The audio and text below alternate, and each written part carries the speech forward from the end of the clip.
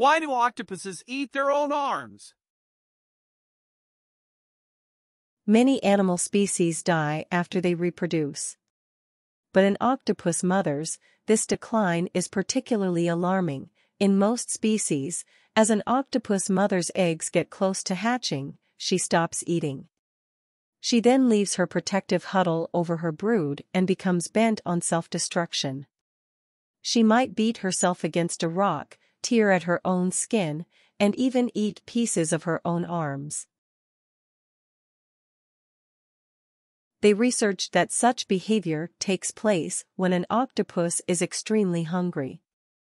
Not only that, some octopuses ate themselves because they were stressed due to being in captivity. A stressed animal is most prone to infections.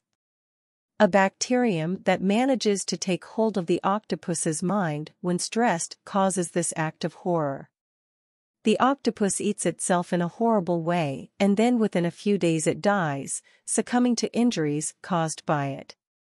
This happens to a captive octopus. But usually, an octopus that is not in captivity and had eaten a limb can regrow a fresh new limb.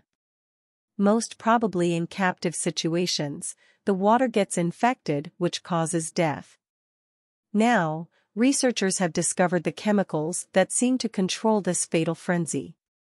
After an octopus lays eggs, she undergoes changes in the production and use of cholesterol in her body, which in turn increases her production of steroid hormones, a biochemical shift that will doom her.